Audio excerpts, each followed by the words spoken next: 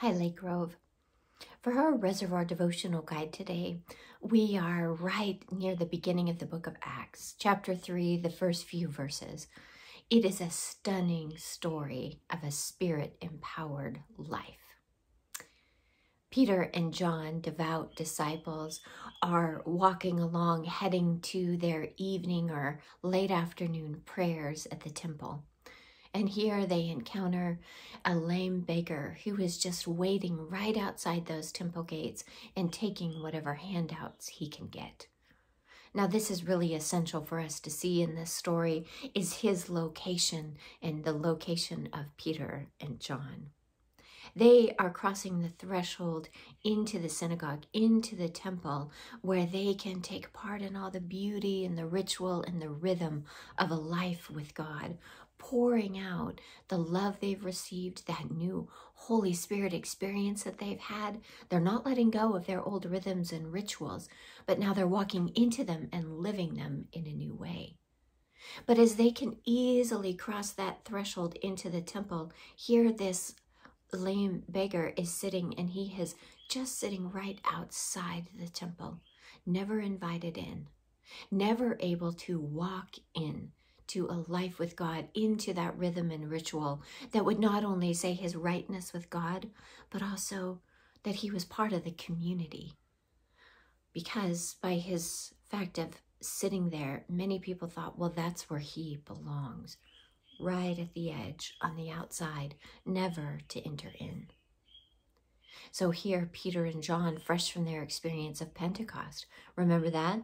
We just heard about it. So really, you can't take this story away from that story where the Holy Spirit has rushed in on all the disciples and they can see the presence of God so powerfully. It's like flames on their head.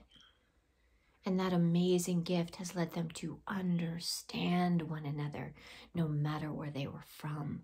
They could speak to one another and understand one another in their own language. That's a vital and empowered life. But so here, Peter and John, they're still walking their regular day, the rhythms that they would keep of going to prayers, and they encounter this beggar right on that threshold where he asks them, Hey, um, I need some money. They turn to get his attention and they say, We don't have that, but my, oh my, do we have something else? And what we have, we give to you.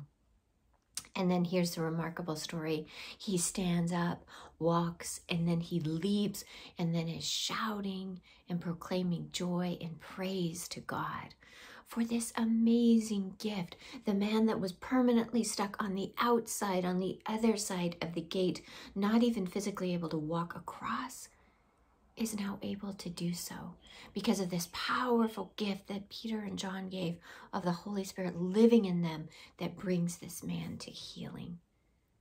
And then he enters into that sacred space, into that rhythm and ritual with them.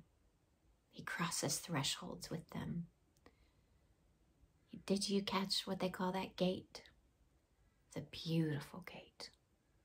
The beautiful gate. Oh, how beautiful it is that through the power of God, through the power of the Holy Spirit, we get to live a generative life that is constantly inviting and bringing others in who are outside into the presence of God. Through the company of one another, and then literally into that temple, into this space of prayer and giving and praise and connection and meaning. One last thing I want to highlight from this passage Peter and John are very clear. We can't give you what we don't have. We would love to give you what we do have. Don't let yourself get all tied up in what you don't have and you can't give. Give what you have and don't do any uh you know downplaying of it or you know god doesn't work this powerfully in me. I don't know. I'm way too shy. I'm way too this. Offer god as much as you have in the places that you're called to and let the spirit work. Beloved lake grove god is with you